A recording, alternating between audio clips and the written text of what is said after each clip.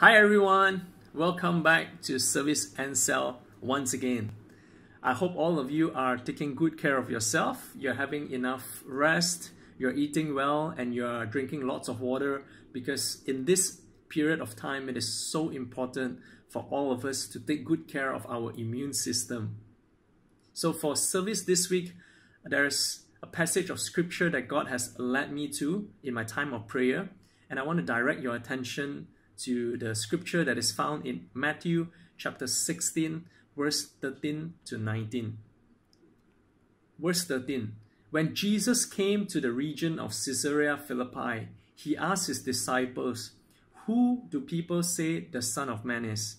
They replied, Some say John the Baptist, others say Elijah, and still others Jeremiah or one of the prophets.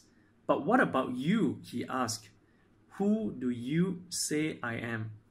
Verse 16 Simon Peter answered, You are the Messiah, the Son of the living God. And Jesus replied, Blessed are you, Simon, son of Jonah, for this was not revealed to you by flesh and blood, but by my Father in heaven. And I tell you that you are Peter, and on this rock I will build my church, and the gates of Hades or hell will not overcome it. Now I want to uh, I want us to focus on verse 18. And I tell you that you are Peter, and on this rock I will build my church. Now, a lot of people have the misconception or they translate it wrongly. Uh, they just read it literally and they think that the rock that Jesus will build the church on is referring to Peter, meaning the church will be built on Peter. Now, I understand that Peter plays a very big part in the entire Bible. In fact, in the whole kingdom of God, uh, from back then to what it is today. He's definitely one of the key person, even among the 12 disciples. And so he, he is a very important person. He has contributed so much.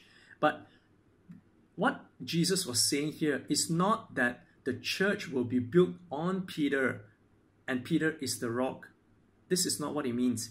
Now, the reason why people translate it wrongly, because the Greek word for Peter is Petros, and it means pebble or small stone, while the word rock is translated in, in Greek, it is Petra. So Petrus, the small pebble, is Peter, and rock is Petra, which means a big rock or a huge boulder. So when Jesus said, On this rock I will build my church, he's referring to the revelation that Peter received from the Father in heaven.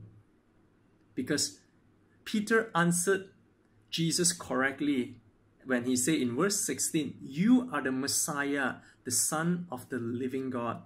And Jesus replied, Blessed are you, for this was not revealed to you by flesh and blood, but by my Father in heaven. Now, as I was praying for this, I am directed to share with all of you this particular part and to explain it to you and, and, and take my time to really help you to understand is because our entire Christian walk with God relies on our revelation on who Jesus is first and foremost. When we understand and when we recognize that Jesus is the Messiah, the Son of the living God, not the dead God, but the Son of the living God. When we really understand who Jesus is in our life, that is when we are able to fully grasp and fully receive all the things that Jesus say he has given to us or he has called us to be or, or he has promised us. Now this is again so important and I am taking a bit more time to, to emphasize on this is because a lot of times we call the name of the Lord, but we don't understand who He is. We might know theoretically, okay, you know, Pastor preached that Jesus is the Messiah. Yeah, I know that He is the Son of God. You know, He came to die for us on the cross. We kind of know this knowledge, but it does not sink into our heart and let it be a strong revelation and become the identity for all of us and I want to take this time to focus on this is because I want all of us, the younger we get this, the more our Christian walk is going to be so powerful and so exciting.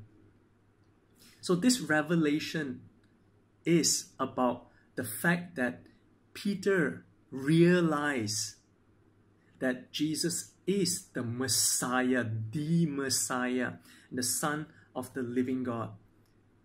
So now I want to quote another two scriptures for all of you about what God, what Jesus has actually called us to be. And, and in his point of view, in, in God's point of view, who are we really? I want to bring us to 1 Peter chapter 2, verse 9 to 10.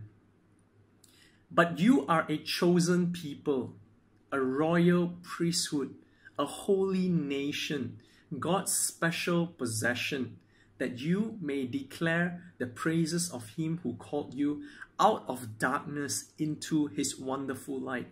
Once you were a people, once you were not a people, but now you are the people of God. Once you have not received mercy, but now you have received mercy. Do you know that God has called us to be His chosen people? He has first chosen us and He has called us to be a royal priesthood. Now, royal priesthood simply means that all of us are like priests, not just you know Pastor Daniel or Pastor Deborah or the people working full time, but all of us are called to be priests, and that means we are supposed to stand in between God and man. And we are the person in between that helps to connect our friends, the people who do not know Christ yet, connect them to God. We are the priest that stands in between both parties. That's how important it is for us to realize this. And, and it also says here that we are called to be a holy nation. We are holy, guys. We are set apart. We are not just like everyone else. We are not just like the world. We are not supposed to have the same mindset as everyone else. Just because the world or bosses or majority of people does things a certain way or think in a certain way or behave in a certain way does not mean that we uh, we should be doing the same thing or we should adopt their same ways. We are different. We are a holy nation and we are God's special possession. That's how precious each and every one of us are. That God would call us to be His special possession. Now, I'm not sure about you, but when I hear all these things, I get really excited and my faith has increased by many, many fold. And not only that, I want to uh, let this become a big revelation for me. And, and when it sinks in, it becomes my identity. That is when I can walk differently, I can talk differently. I don't have to be defeated like many other people out there who does not know God. Let me read for all of us uh, another scripture as well that is found in Deuteronomy chapter 14 verse 2. And this is God speaking through Moses to the children of Israel. Verse 2 For you are a people holy to the Lord your God. Out of all the people on the face of the earth, the Lord has chosen you to be his treasured possession. Woo! We are God's treasured possession, guys. That's how precious you and I are in God's eyes. Take your time and really meditate upon this and let it sink in and understand what it means. This is who you are. We are not just an ordinary person. We are not just uh, another number in the statistics. We are not just that one out of the 7 billion people. We are not just a small little drop on earth. We matter so much to God that God would consider us and call us to be His treasured possession. We are literally the apple in God's eyes. That is why it's so important for us to live a good life, to live a godly life, and bring glory to God in all the things that we do, all the words that we say, and every aspect of our life.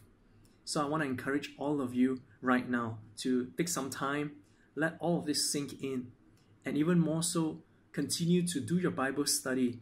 If you have not started on the full Bible reading plan together with the rest of us in Generation 412. I encourage you to check with your cell leaders and start on it. Read the Bible together so that you will really understand what else God has called us to be and how special are we in the eyes of God. So, in your cell groups right now, I want you to share what this means to you now that you know how precious you are to God. Share with each other in your cell group and uh, let this be an amazing time that we get to understand more and live our life so differently now that we know this. Okay? So let me just pray for all of you and I'm going to believe that you're going to have a great time sharing with all the rest of your members in cell 2. Let's pray.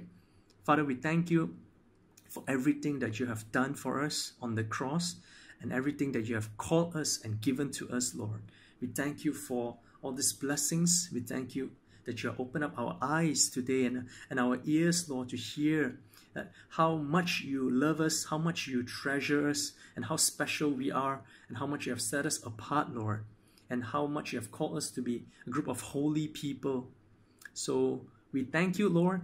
And even in this time, as we recognize this, as we share with each other what this means, Lord, help us to see more and more and understand more and more about you, and also understand more and more about who we are in your eyes and uh, who you have created us to become, Lord, as we share with each other. And let this cell be an amazing time together, Lord. Bless our fellowship. Let us continue to walk strong in you and keep us safe, Lord. Let this be done in Jesus' name, we ask and we pray. Amen. God bless all of you. Uh, keep in touch. Have a great time in cell, okay? I love you.